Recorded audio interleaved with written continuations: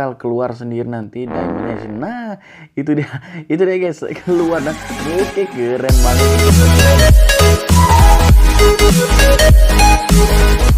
Hai guys, kembali lagi bersama saya di channel Pandu Gaming dan kali ini kita bakal main Minecraft lagi teman-teman.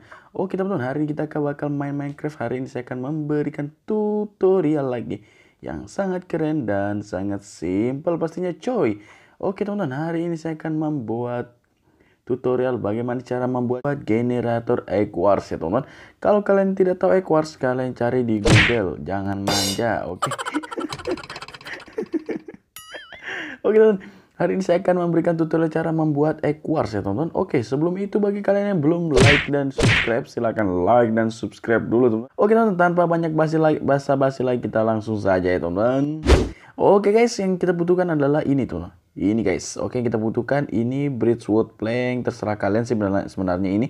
Lalu yang harus kita butuhkan adalah Block of Diamond, lalu Dropper, Rail, Power Rail, lalu Detector Rail, Redstone Torch, lalu Spawn Cow, sapi ini dan minecart ini ya teman-teman. Nah, yang kita butuhkan, yang kita lakukan pertama adalah kita taruh di sini ya. Ini akan menjadi sebagai generatornya nantinya ya teman-teman. Lalu ini kita taruh droppernya ini di ah, seperti ini menghadap ke atas begini ya guys. Oke guys, setelah itu kita taruh ini lagi, lalu ini. Nah, seperti ini. Lalu oke, lalu ini lagi. Nah, ini akan sebagai seperti penghalangnya. Nah, nanti di uh, kayak apa? Diamondnya nanti keluar akan di sini guys. Nah, keluarnya akan di di sini. Oke, kita akan tutupi dulu ini. Nah, seperti oke, seperti ini. Lalu kita buat ini lagi guys.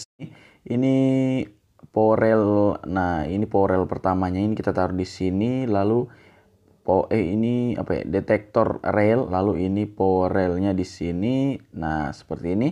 Lalu railnya di sini ini supaya bisa belok ya non nah seperti ini guys. Oke mantap nah sini kita kasih yang jauh ya non supaya tidak cepat keluar diamondnya nanti ya. Oke kita panjangin aja guys sepanjang mata memandang.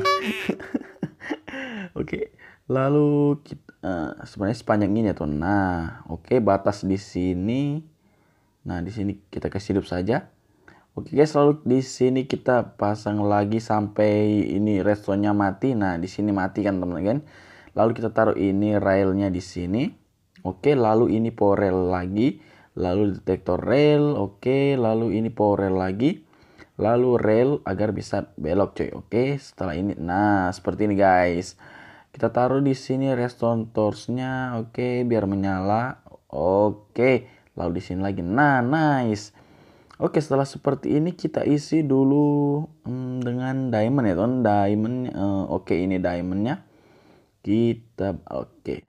Oke guys, setelah itu kalian isi di sini. Oke, di sini kita isi diamond terserah kalian sebanyak apa ya di dropper ini ya teman oke ini memang cara banyakin nggak bisa kah?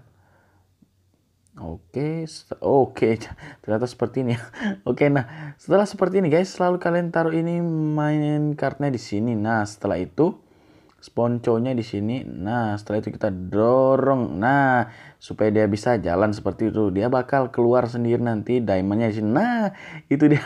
Itu dia guys, keluar dan oke keren banget kan. Mantap jiwa teman. Sudah bisa keluar dan kalian bisa buat PVP sendiri ya teman nanti Nah, setelah seperti ini bakal keluar sendiri. Nah, seperti itu. Nah, setelah itu kan biasa hias-hias sendiri di pinggir-pinggirnya di sini ya, guys. Agar lebih keren nggak um, bagaimana ya, nggak biasa-biasa aja jadinya. Oke, okay, kalian hias sesuka-suka kalian. Oke. Okay.